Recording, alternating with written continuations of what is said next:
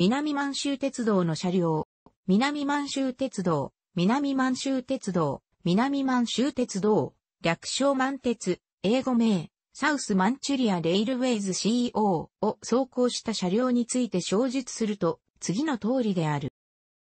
当初、日露戦争開始前に、帝政ロシアが建設した東西鉄道の機関は後期であったが、日露戦争中、陸軍や戦鉄道引下げり部は、軍事輸送のために、これを狂気へと、改め騎士、内地から供出した車両を持って運用していた。また、朝鮮半島から満州へ向かう安藤駅、新洋駅間の安佐佐線は、日露戦争中に陸軍が旧設した狂気の軽便鉄道であった。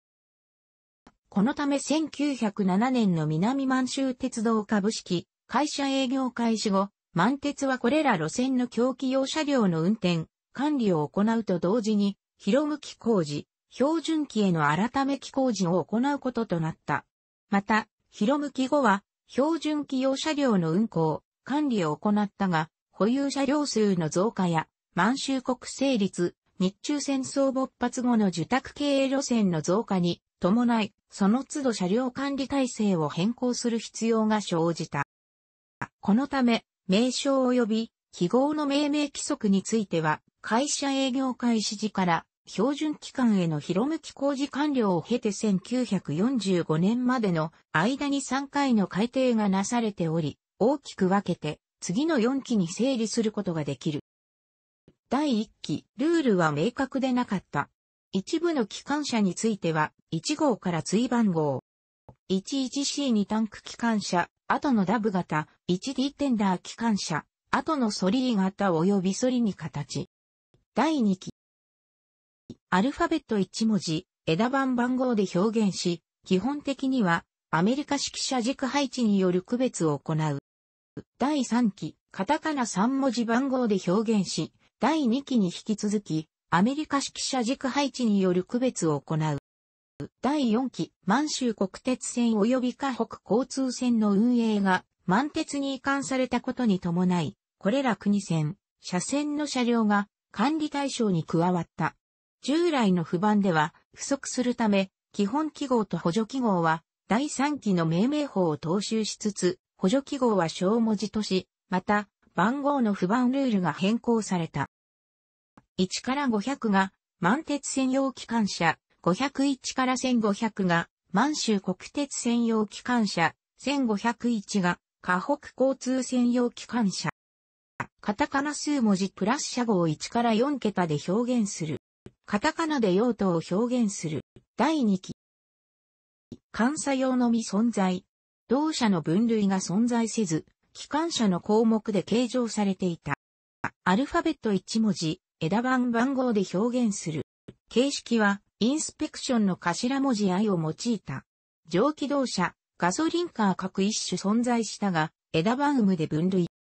第3期、旅客用動車が登場。旅客用動車は、エンジンの点火方式で2種に分類された。監査用と旅客用で、不番体系に差異がある。監査用、基本記号、枝番、プラス車号。旅客用、基本記号客車等級補助記号プラス車号。旅客動車については、満州国鉄の経営委託を受け、満州国鉄向けに配置転換及び、新車形式の最初に国を付して、別形式で供給する例が見られた。第4期、第3期を基本とするが、旅客用動車の基本記号を使用燃料による3分類とした。満州国鉄戦車の形式に国を付す方式を廃し、補助記号を通し番号に改めた。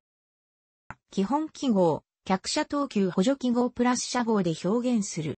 用途順、製造順に特徴を記述すると、下記の通り。第1期第2期は、米国製の輸入機関車が主流であったが、第3期あたりから、満鉄製、日本製の機関車も製造されるようになった。以下、分類、形式は突起のない限り製造当初のもの。非扱い。その存在は原則として非公開であった。これ以外に未可視形設計時に、未可にと同じ牽引力の2シリンダー式機関車という条件で動輪を一つ増やした 1E1 も検討されていたが、運転速度向上のため動輪直径 1500mm が求められため没になっている。機関車同様、第1期第2期は、米国製の輸入車両が主流であった。当初付属時指定の学童輸送等には、貨物列車を停車させて、乗客座席付け車掌車や増欠客車に便乗する措置が取られていたが、長編成の貨物列車を停車させる、輸送上の非効率や危険性の観点か、却下分離が図られた。日本内地の内燃動車がバスの勃興に対する競争策として発達したのとは若干性格が異なる。欧米のガスエレクトリックや高速動車列車の影響を受けて、重油、軽油ディーゼルの採用や動力総括制御、技術の国産化などの試みがなされ、短期間の割に形式数は多い。しかし実用的なものは、機械式変速機の単車運転用、ガソリンカーと自手編成のみだったと思われ、最終的な増備は機械式変速のガソリンカーに戻る。自社工場で製造した若干例を除き、圧倒的に三井物産経由で日本車両本店で製造された車両が多い。ほとんどの車両が第3期中に登場するが、第3期は満鉄の形式と満州国鉄線の形式が重なって煩雑なため、特記以外整理された第4期の形式で列挙する。楽しくご覧になりましたら、購読と良いです。クリックしてください。